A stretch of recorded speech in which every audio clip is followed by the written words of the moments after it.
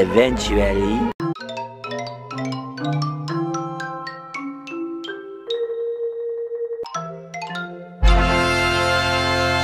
I am Chef Saltbaker. I have been a naughty crook.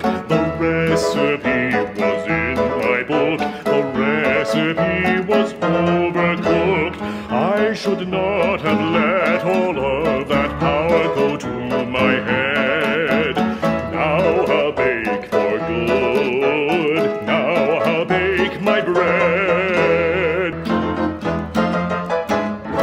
ha ha ha